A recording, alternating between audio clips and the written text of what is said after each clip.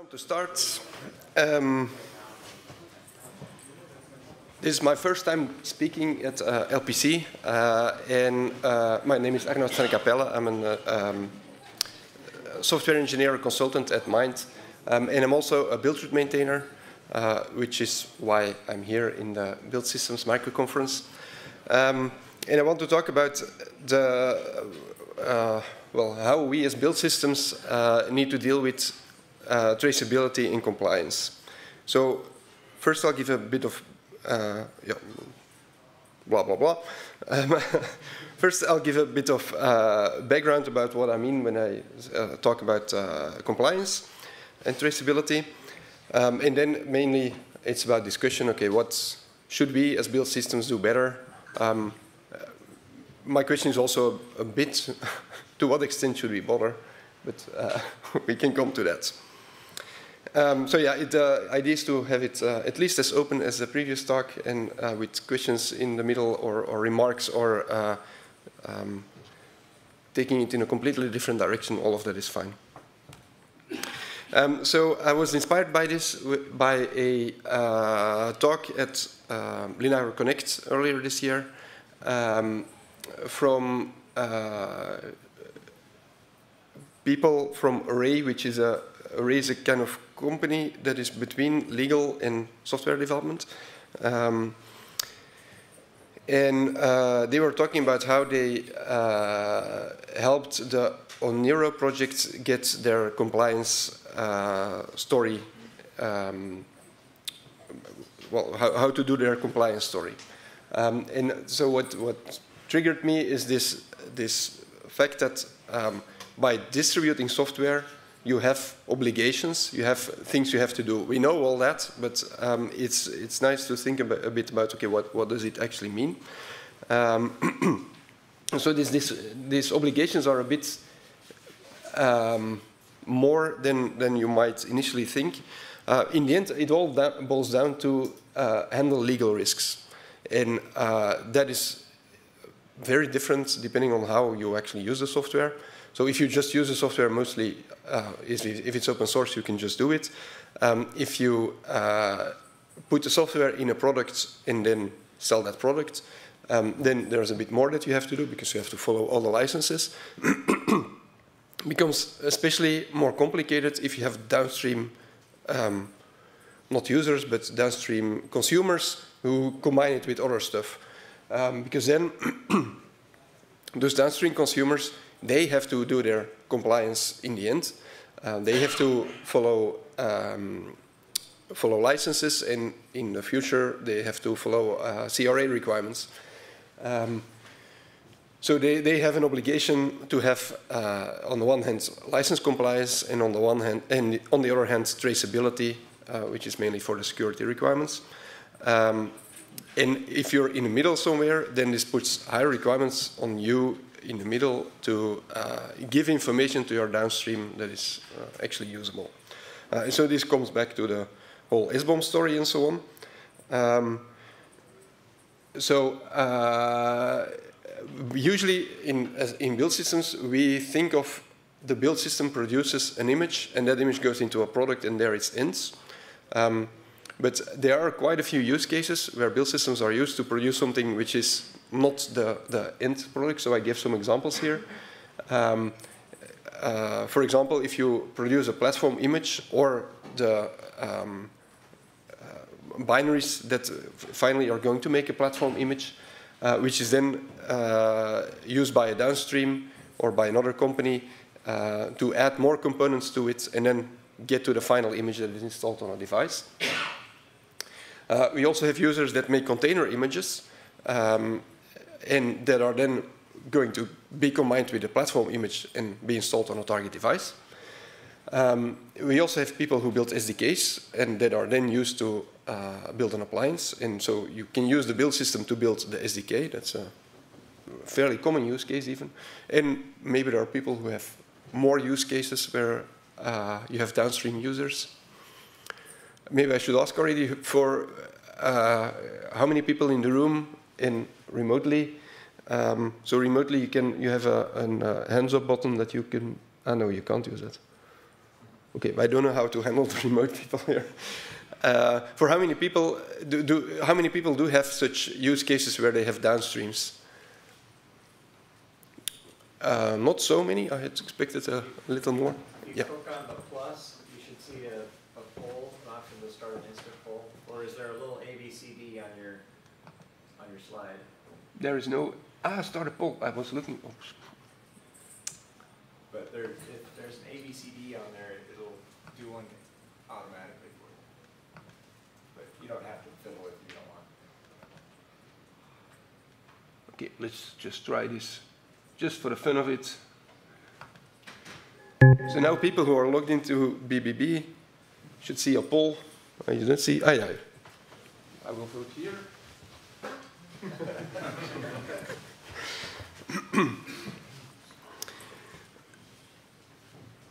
I'm not going to let this wait for too long. And then I can publish poll.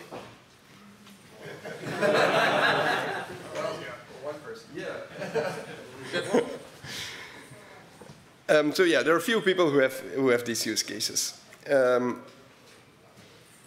so now, if in such a use case, what does it mean concretely? Uh, so what you need is obviously a manifest that describes the components that go go uh, into your system. Up to there, this is the the normal thing that we all know about. Um, it's also important to have this uh, as a as a decomposition. Um, as a build system, we tend to put everything flat. So we have a bunch of packages, and they're all, um, uh, I mean, the, the, packages go into the image, and that's the, the level uh, we have it in. In general, it, this can be more complicated, so we have components that go into other components. Um, for example, if you have a container image uh, and you put that on in another image, yeah, then you have this hierarchy already. But as build systems, we're usually not faced with that. Um, then, oh, there is, ah, there's the notes from Philip. uh, the uh, provenance of each component is important. That's basically for us the upstream URL. Um, and of course the patches that we apply to it.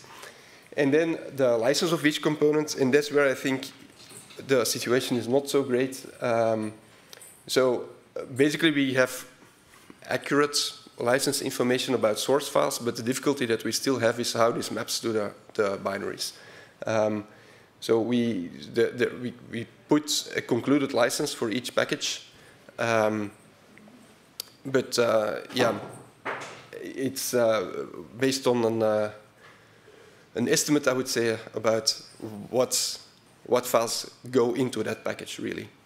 Um, so something that, that uh, we came up with this weekend in the uh, Developer meeting is uh, in the source there is a, a, file, a documentation file that is GFDL license, Um, how can you be sure that this does not actually end up on your target? Um, uh, and then the, an important thing, and that's where I think we're also fairly lacking, is a traceability so there's the traceability aspect of where this conclusion comes from. So we put a concluded, or yeah, we put a concluded license in the uh, in a manifest, uh, but how did we get to that conclusion? It's in a way automatic because the uh, the build system produced it, but actually it's based on manual information in the recipes. So it's uh, there. There is, I think, there's a lack of traceability there. Um, so now going back to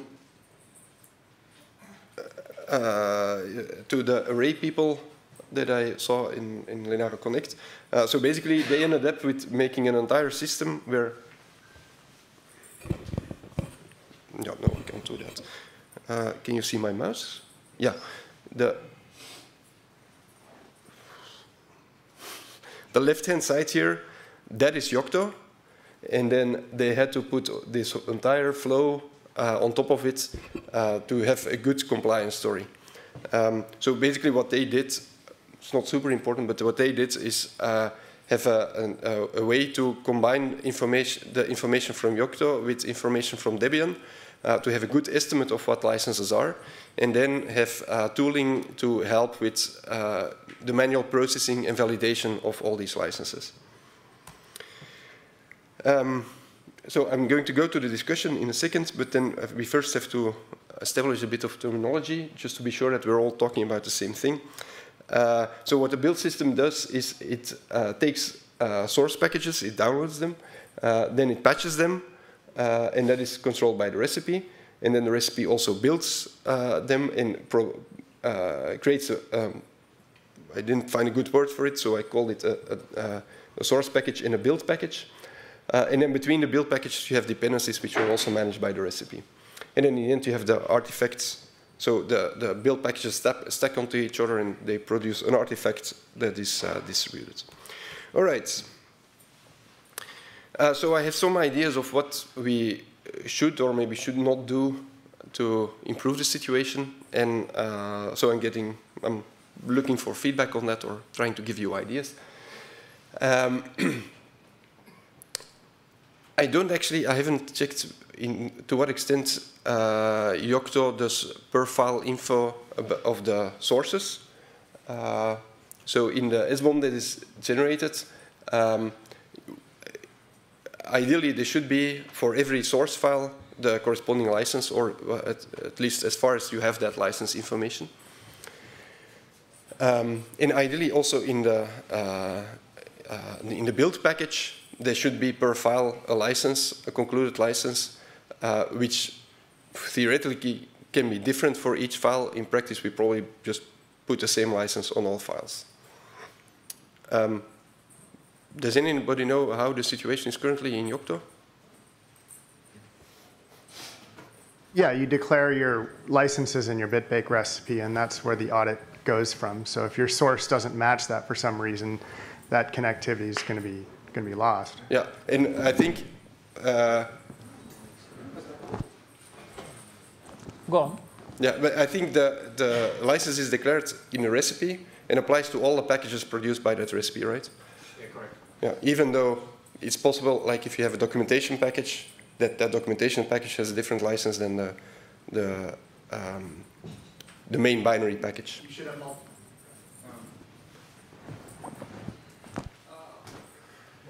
Uh, yeah, you can declare a license for the whole recipe, but you can also declare individual licenses per package, so then uh, they will have different. And are there many packages, uh, recipes that do that? Yes. Okay.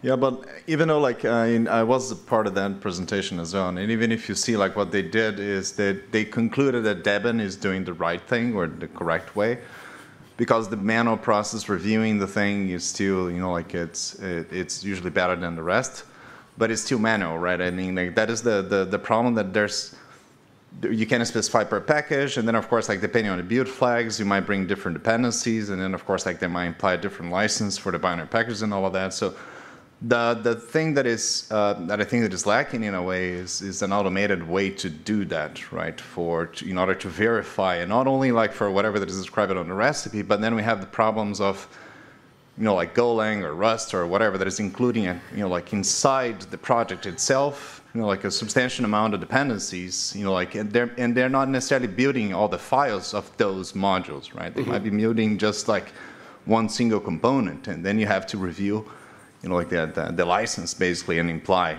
the, the, and have the concluded license in the end. So this oh, I don't. There, she was first. Yes, sorry, first. uh, but uh, this I don't think is a problem that Yocto can solve. You first need to improve those language-specific tools to give us something that we can use, right? Uh, you can say. in an hour. Hmm? Please just stop at this point. Come back in an hour. Okay, thanks.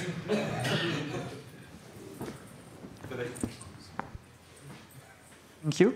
So for me, two things. So I work a lot on Debian packages. Um, Debian define licenses not for binaries, but for sources, because licenses, they say you, you have to distribute the source code, but the binary is not licensed or that GPL or something. So for me, having license for binaries is kind of weird. I don't know if that makes sense. So in Debian, we only give copyright not for the binaries, but copyright for all of the source code. And we use all of the licenses for all of the source code.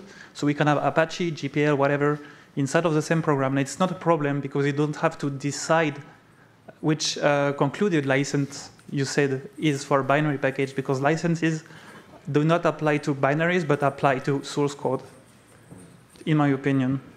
They absolutely apply to binaries. Okay, my bad, my bad.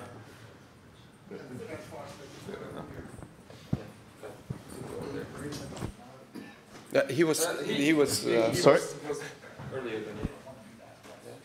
Yeah, the, we, we are getting a lot of these requests from customers who are asking us to give, uh, like we, re- I'm from TI, like we release all the SDKs, but when we release the SDKs, we also give software manifest file that we generate from Yocto and include in our SDK that clearly gives what are the binaries that we are packaging and what are, what is the license for each of those binaries.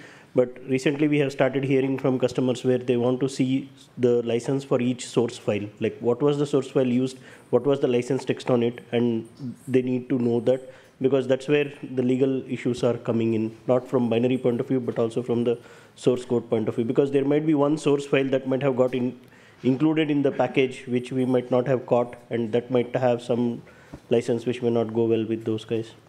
And if there is a mechanism to generate the license or manifest file based on source code, I would be very interested to see some comments after one hour. I'm not sure that the concept of a file is relevant. Uh, uh, copyright is defined for, for, for works. I, I, can I can I react to that immediately? So the concept for, for of a file is relevant in the composition uh, concept. So basically, if you have uh, if you produce a binary and then that binary is not copied to your target, then this is a strong hint that the license that was used to produce that binary, the, the, the license of the sources that was used to produce that binary is also not relevant. It's a useful abstraction for us, but I'm not sure that's legally correct.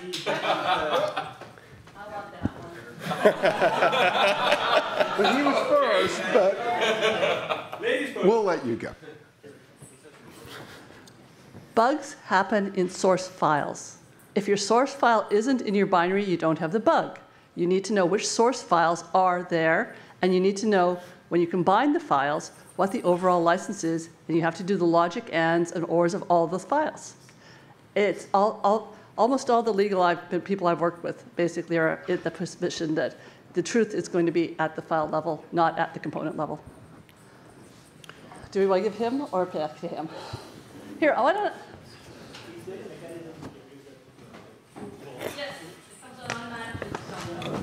to. So uh, one thing is uh, you can say for the package, but what I'm missing is reality also uh, that the source code, you can say the archive, deliver information about which I can use for the package config. For example, take something for some as Qt or something like that, where there's a huge amount of components with some is BSD, some is two clause, three clause BSD, MIT licensed, GPL3, whatever they have done, and then you have the commercial part of Qt. So you have all this license combination depending on my package config. And no matter what yeah, you do, that's, that actually comes down to the same issue. Okay, so Yeah. there is sources, they have licenses, but you don't actually use all those sources. Exa- So probably those licenses don't apply either. Which brings me to this wild idea. Maybe we should just all the sources that are not uh, being used in the end, just remove them. Then we're sure that they're not used. So- Kate likes that. Okay. So my point was, uh, no matter what, the license we write in the recipes normally is always a bit. Oh, now we the project below did some change. Now added a new module or something. Oh, we need to add that as a license also. So we're always behind a certain point. So if somehow that the the project itself could deliver, oh, this is all my licenses, and push it down to the project instead, as So- we as a build system could read. That's indeed another idea I have. That is the, the second one. that maybe we should be using instead of having our own copy of uh, our concluded license. Maybe we should be using upstream information if that is available. Like um, not many projects, but some projects have a nice single file that describes it. If you have uh, the SPDX tags in every source file, you can use SP, uh, uh, reuse SPDX to generate a, an SBOM out of it. Um, you don't actually get a concluded license out of that. So I'm not sure how to handle it then for the, the binary packages, but it could be something that we could consider using. Yeah, I, I, I defy anyone to show me a copyright statute anywhere in the world that talks about files. It talks about works and derivative works. Um, when you're dealing with a copyleft license where it's talking about the derivative work, uh, the binary is a derivative work of the entire source code. So for, imagine when you type make config, right, and you turn various things off, you might think, okay, well, that was an unused source file, but that's not true because it was used as part of the derivation you made when you made the binary, and you have to produce it under copyleft licenses, period. So you shouldn't remove it. I, am okay with Kate's idea that we note that maybe that code didn't appear in the final binary, and you could certainly share that information with the user, but it doesn't not make it a derivative work of that file just because you removed it during the build process. Yeah, that's an interesting observation because there are many projects that, uh, like for example, are supposedly under LGPL, but they have some test code which is GPL. Does it mean that uh, if you use that project, you actually have GPL in your final? It may, yeah. Depends on what you ship. Well, no, so eh, but what, what he's saying is that even if you don't ship the binary. No, no, no, but like Tesco, you don't ship Tesco without a final product. Hmm. Yeah, but the, what he's saying is that it's a derived work eh, because Fi you're deriving final, from the same. fi final comment or insult right now. okay. Final insult. If we want to derive the, a license for the binary, um, isn't the only way to have assistance from the compiler? Because that's the only thing that knows what what's builds uh, the compiler on linker, right? So if we it parses all the source files, all the header files. If we talk C, C++, and the linker links everything. So that that's the the entity that really knows what gets into every binary. Yep. Let's stop there. Good conclusion. feel feel free to beat each other out in the hallway. okay. Thank you.